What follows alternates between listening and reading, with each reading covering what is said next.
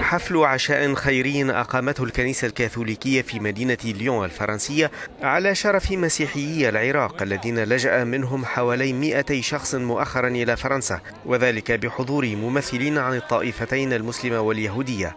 وتتحدث عراقية عن أفراد من عائلتها اضطروا إلى الفرار بسبب اضطهاد تنظيم الدولة الإسلامية.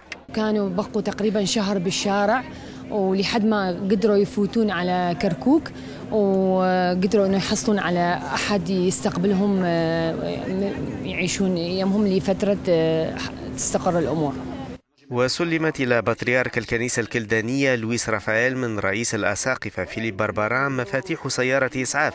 ولم يكن الهدف من المناسبة جمع التبرعات فقط وإنما التعبير عن قيم التضامن والتآخي. ويقول رئيس الأساقفة يعاني مسيحيو العراق كثيرا. لن يتم التخلي عنهم أو يتم نسيانهم. هم لا يحتاجون المال ولكنهم يحتاجون صداقتنا وصلواتنا. من جانبها تقول مفادة يورونيوز يحتاج مسيحيو العراق ومعهم اللاجئون السوريون والعراقيون الدعم المعنوي والتضامن.